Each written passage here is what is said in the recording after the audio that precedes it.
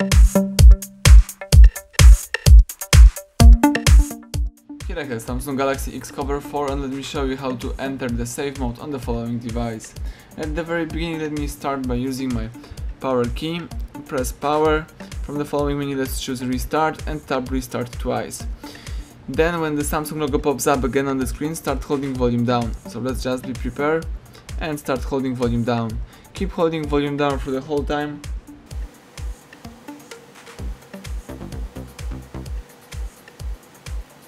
And now you may release volume down. As you can see the safe mode just pops up.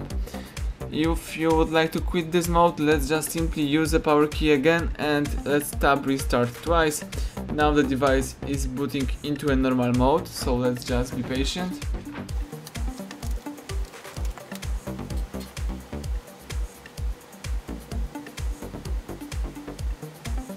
Excellent, as you can see the device is in normal mode, so now you may use your phone Thank you for watching, please subscribe our channel and leave thumbs up under the video.